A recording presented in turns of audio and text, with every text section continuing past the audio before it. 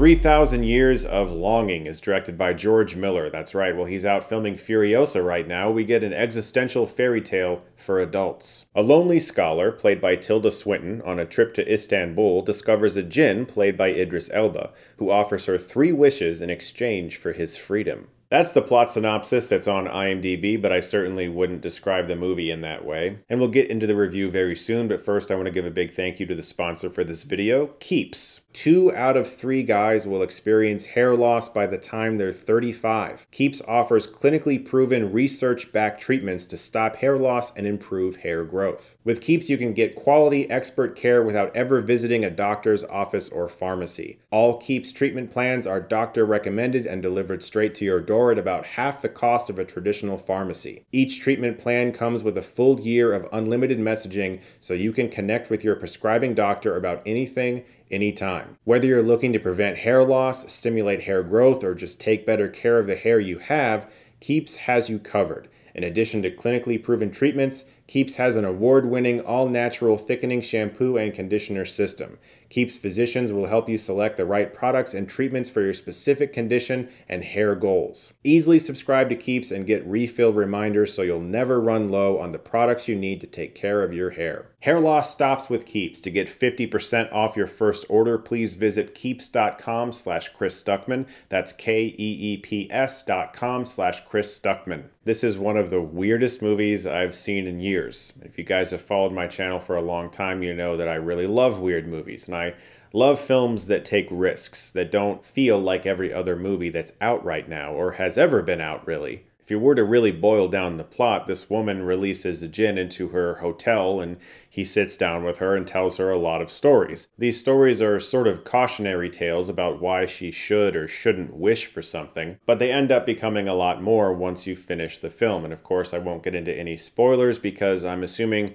the majority of you haven't seen this film because it didn't really do that well at the box office, which is no surprise with a title like 3,000 Years of Longing, a beautiful poster, but one that doesn't really evoke anything, and two stars who are incredibly talented but aren't going to bring in the kids to the theater, so to speak. And with Mad Max and Furiosa not in this movie, it's not going to bring in George Miller's fan base of people who think he only makes Mad Max movies and are unaware that he has one of the most eclectic filmographies ever, having directed such films as Babe, Pig in the City, Lorenzo's Oil, Happy Feet, of course, the Mad Max films, and now this. You really can't tie George Miller down. He's really someone who does pretty much whatever the fuck he wants, and I love that about him because this movie is very much so a movie that could only be made by a filmmaker who does whatever the fuck they want.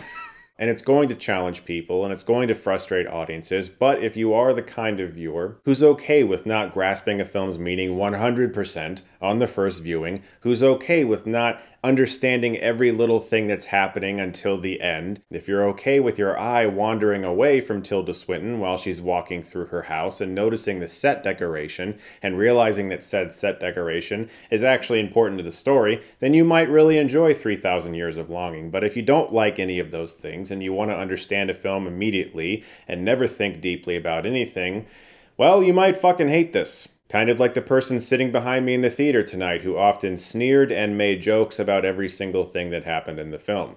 I'm not even kidding. Every time there was a moment of silence, this person sitting in the theater had to fill it with a comment. And it made me think about the state of film, but more specifically the state of the audience nowadays and how we've become so accustomed to getting answers immediately and understanding what everything means immediately and not really thinking deeply about anything and just wanting to be mindlessly taken away to some kind of escapist entertainment. And I love that shit. Trust me, I've seen Top Gun Maverick many times this year. It's incredible. It's a masterpiece, I think. But I also appreciate films like this, ones that can be very frustrating and even a little flawed, but that seem to have something to say and that spend a lot of money saying it in a very grand way.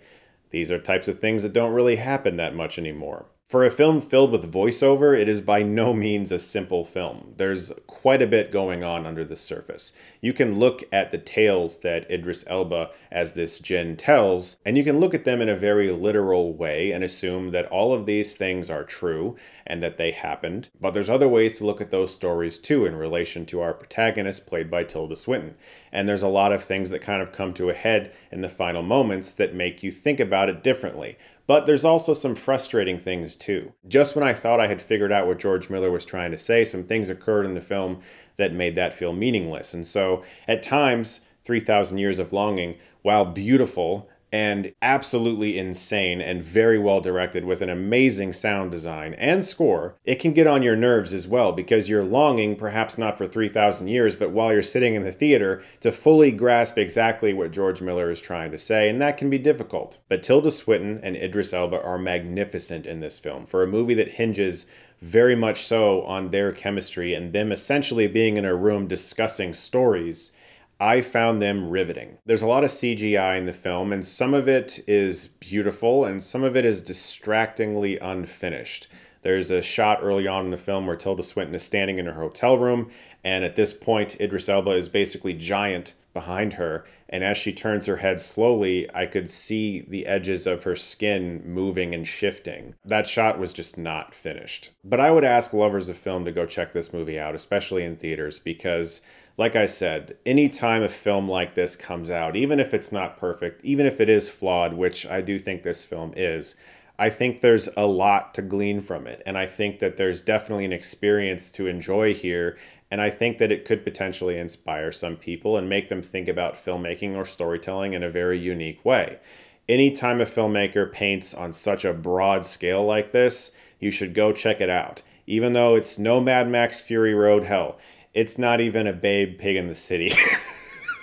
I'm kidding, of course, but I do think this movie is worth seeing on a big screen, especially if you're a fan of George Miller or either of these two masterful actors. Guys, thank you so much as always for watching. Look forward to more videos very soon. And if you like this, you can click right here and get Stuckmanized.